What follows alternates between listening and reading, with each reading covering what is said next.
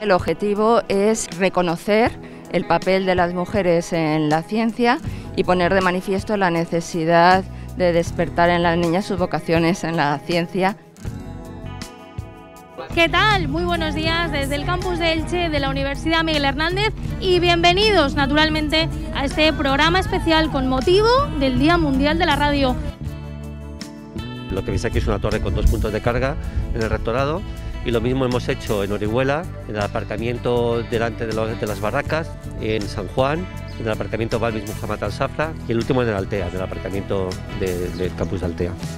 Y así es, como tras el sueño del papel, escuadriñamos vuestra casa, nos ponemos vuestras ropas, buscamos en vuestra esencia